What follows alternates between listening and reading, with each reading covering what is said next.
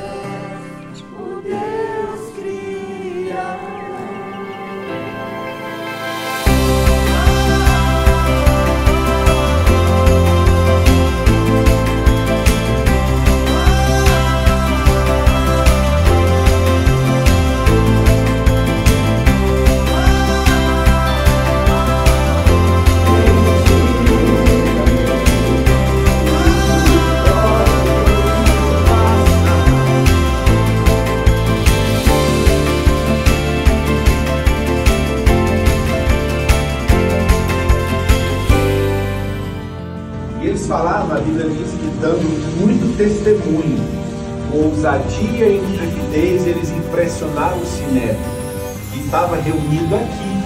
Aqui era a casa do Caifás. Para se lembrar do Jesus que ressuscitou, para se lembrar de Jesus que voltará, para se lembrar de Jesus que reina eternamente.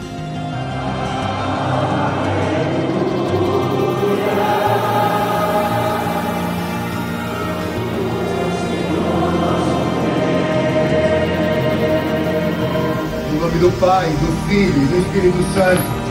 Eu te batizo, Daniela.